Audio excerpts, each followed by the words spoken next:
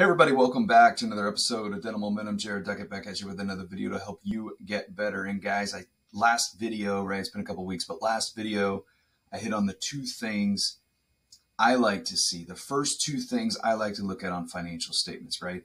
The first thing I look at that balance sheet, look at cash, how much cash do you have in the bank? First thing I want to see. Our business, your businesses, all dental practices, how much cash do you have in the bank, okay? This video, I want to talk about the second thing I immediately look at. Okay, after I look at the cash in the bank, I want to look at a cash flow statement, if you will. You know, we talked about a triple threat P&L. What was the cash flow for the month? Cash flow means how much cash increased or how much did cash decrease, right? That's the first thing I want to look at. Okay, did cash go up? Five, ten grand. Or did it go down? Five grand, ten grand. That's the things you need to look at. And the most important thing, don't just look at it.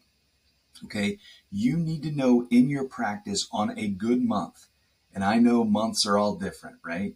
You got busy months in the summer if you're pediatric practice. You got, you know, it's just not all every month the same. I get that, but you need to know in a typical month, right, with your BAM, right, what a good month of cash flow should look like, right? In your dental practice, if you're bringing X amount of collections, Okay. You pay your standard overhead, give or take. You pay you as the doctor your salary. You take your money out as a draw if you're an S corp, all that fun stuff. What is a good month of what that cash flow looks like? Let's just say it's 10 grand. Okay. Let's just say that's the number. First off, go find out and think through what that number is. That's kind of looking at a budget, all that fun stuff. Okay. So know what that number should be instead of just looking at it. You need something to measure it against.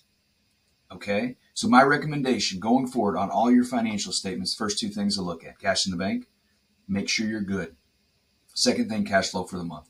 Did it go up? Did it go down? What are you measuring that against? And if you have a good historical trend of money going up, money going up, money going up, you're going in the right direction. I'm not saying you can't ever pull that out. That's not what I'm saying. Okay, maybe on a quarterly basis you true it up and you can pull money out but the cash tells the story of how your practice is doing. Okay, you have any questions on that? Let us know. I want to encourage you today. Go look at your financial statements. See in like literally five seconds. Can you see cash increase, cash decrease? All right, guys, make it a great day. Keep getting better. We'll see you.